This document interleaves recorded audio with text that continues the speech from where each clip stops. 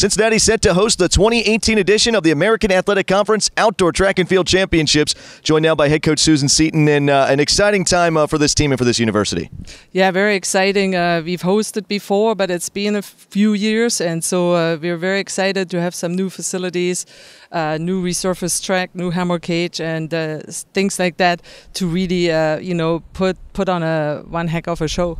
Should be a great show this weekend and a great uh, showcase for the university. And uh, obviously, your team comes in uh, having had some pretty good success here the last couple years. Uh, the women's team, winners the last uh, two seasons, finally got that uh, indoor championship this year as well, but that has to add to the excitement.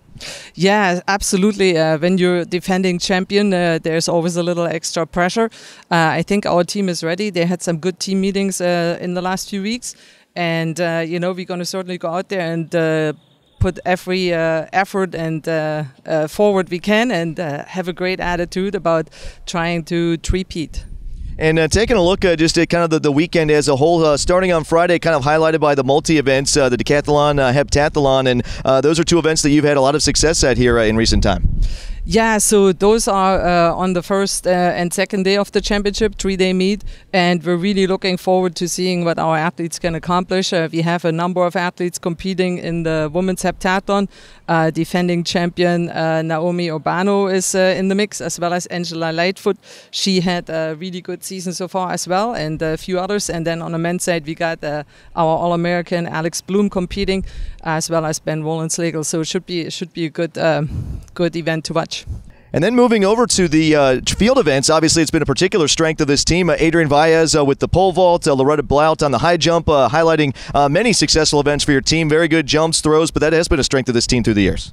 Yeah, absolutely. It's always nice when you have all Americans in the mix competing out there, and we sure hope that they will make us proud here on our home track they certainly have done that uh, throughout their careers and expecting more of the same here this weekend. And then uh, obviously the track event's very popular uh, amongst the fans, and uh, we'll have a lot of those finals coming up on Sunday. Those have been very good to you in the past. Uh, a lot of great athletes have, uh, have kind of cemented their status with them. Tiana Lattimore in particular, I think you know we saw what she did last year for you guys in the relays, but competing just down the road from where she went to high school has to be very special to her. Yeah, we really hope that she will have a good hometown crowd here supporting her. you know, having grown up just right across the street from us uh, at UCE.